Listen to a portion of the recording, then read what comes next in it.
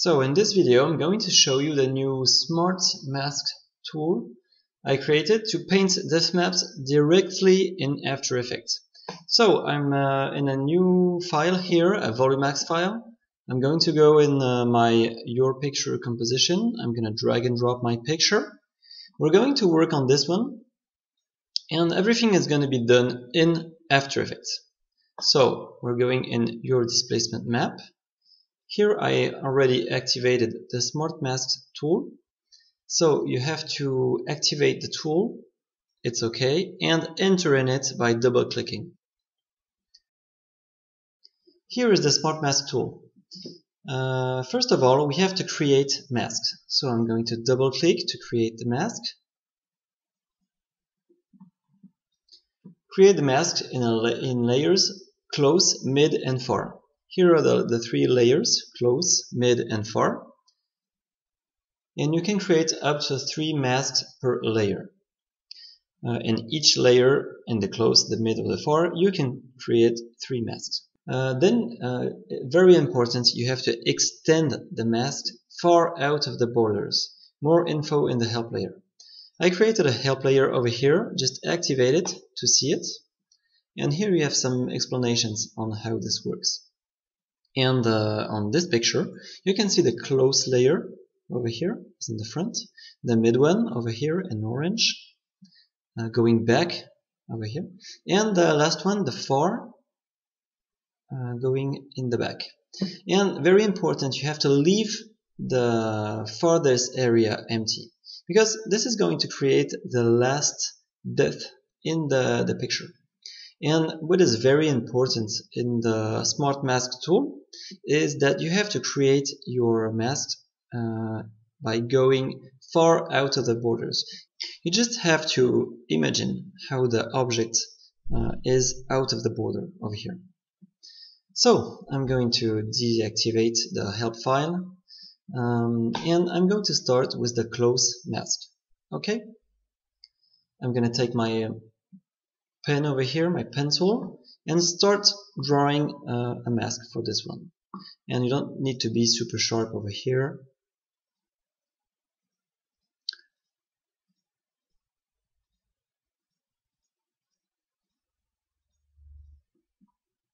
Okay, so this this should do it. I have to go further. I'm gonna do like this. Okay, this is the first one. Then I'm going to create my mid mask over here.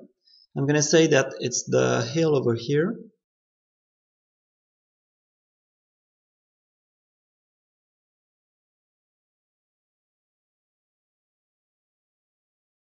You can change while you are drawing like this. You can adjust. Okay, I'm going to extend once again this layer out of the borders like this. Okay. And the last one is the far, far mask. And uh, for this one I'm gonna say it's just the hills going over here.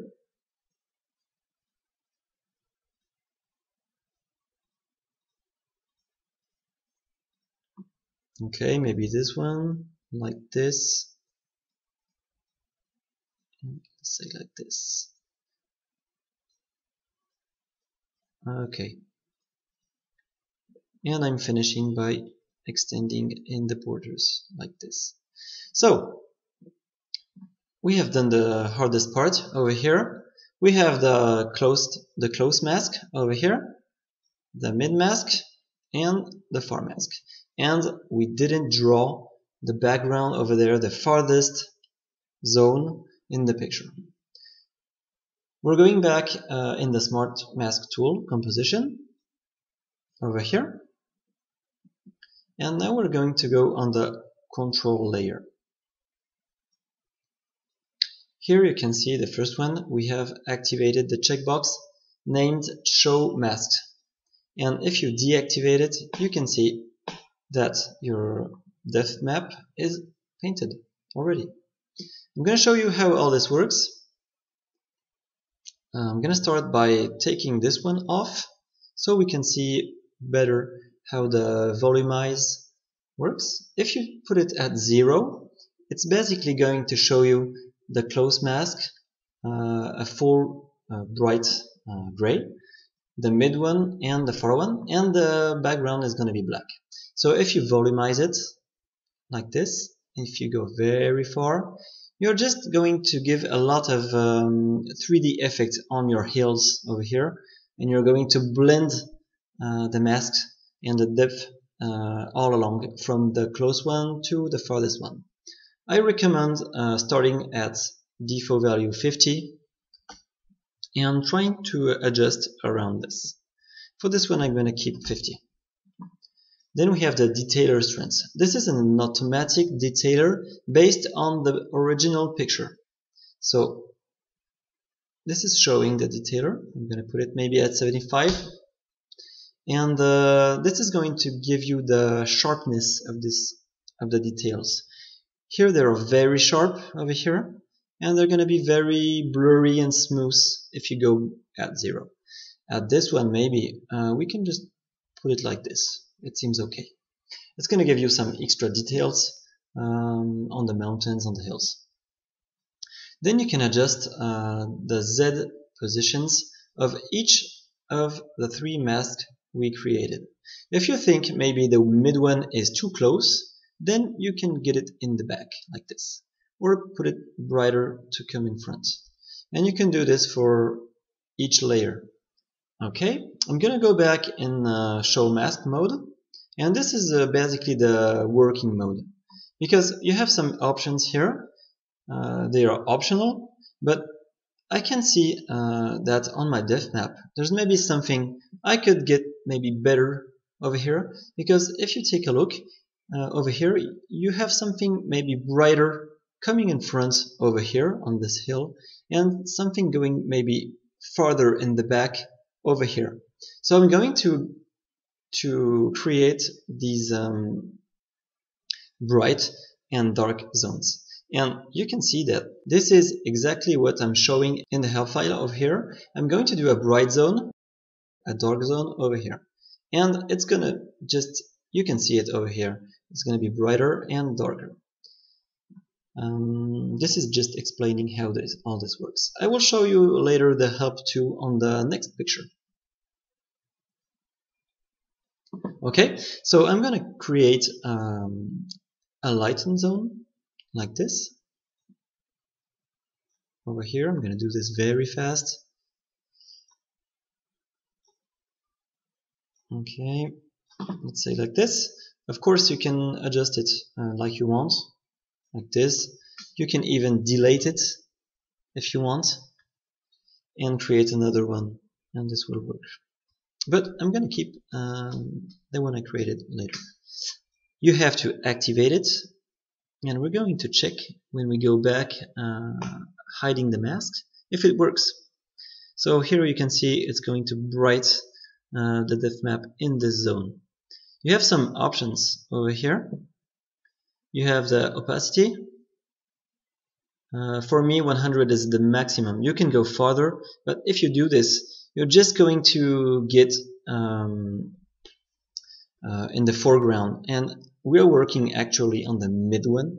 And this is coming in front of the close mask. So this is not recommended. So the maximum value 100 normally should work uh, 90 percent of the time. Okay? Uh, you can blur it more or less like this. Okay 250 seems to be a good value for this picture. I'm going to show the mask and I want to be a bit darker over here because we can see uh, this is quite flat. Even if the details are uh, giving a little bit of volume it's not going far enough for me. So I'm going to use the darken zone. I'm gonna delete this one and create a new one like this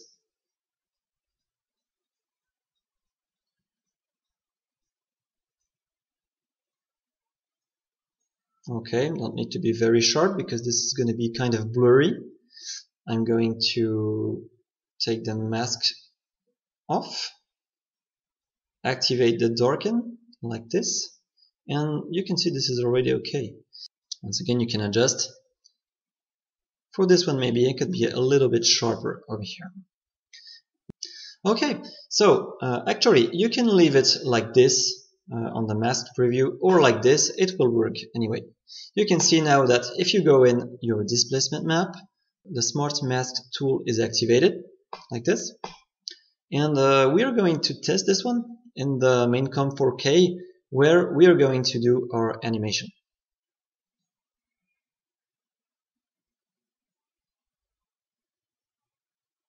Okay, this is nice.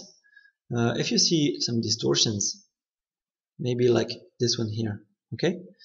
Uh, once again, you can just use the relax uh, option here. Okay. We're going to test the um, parallax zoom. Okay. And the left right. Up and down. Okay. Um, I opened a new VoluMax file. I'm going in your picture. I'm going to put my picture over here. Okay, I'm going to scale it so it's okay in the um, in the composition. Okay. Uh, I have a lot of questions uh, on the um, comments. People saying, "Oh, my picture is too big or too small." Well, this is quite easy because uh, you can resize it. Uh, and here, my picture is uh, bigger so I'm just going to resize it over here. Um, then I'm going in your displacement map. I'm going to activate the Smart Mask tool. There's no work done over here, so I'm, I'm going to go in the Smart Mask tool. Okay, I'm going to create my mask. So, I'm going to create my closed mask over here.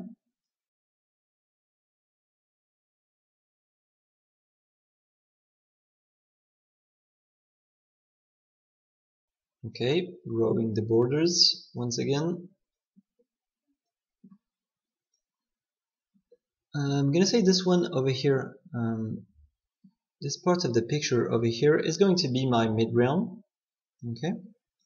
Okay, so I'm gonna try to uh, follow the trees over here, maybe like this. Okay, something like this. Doing this very fast. You don't need to be super precise uh, once again doing this work because everything is going to be to be a bit blurred by the relax um, the relax uh, in the main comp. Okay. Drawing the border the borders once again uh, and in the far mask I'm going to do um, two masks in this one. I'm going to do this part of the mountain over here and this one over there. Okay. Let's say like this. Okay, growing the borders. And I'm to create another one over here.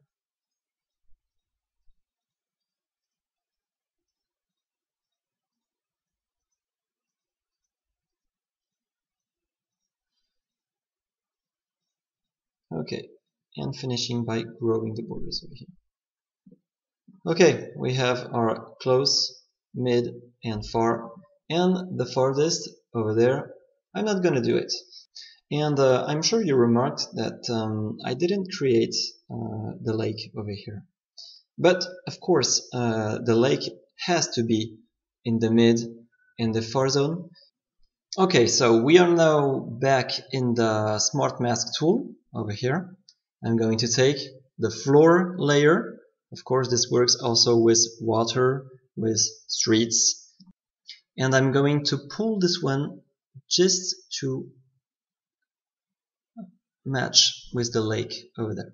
Okay, so now we can see we have our close layer, mid layer, and four layers over here. And uh, with the white stripes, you can see the floor. We're going to take a look at um, our depth map here by unchecking the mask preview. Okay, this is not bad. I'm going to take this, the, the detailer strength over here off so we can just work to get this uh, more accurate. First of all, I'm going to take the floor and try to match it like this. You can see uh, it's going to change the black zone and we can also adjust the white in the foreground. But here we don't want to have the water too close because if you go back in the um, in the mask preview, you can see that uh, the water is quite far away from the camera over here. So I'm gonna let the foreground uh, at the same place over here and I'm going to adjust so my uh, four layers, the two ones here, are just matching with the, the water at the bottom. This is not bad. We have a problem on the mid ground over here. And for that we're going to use uh, our um, lighten, darken and the blur zone.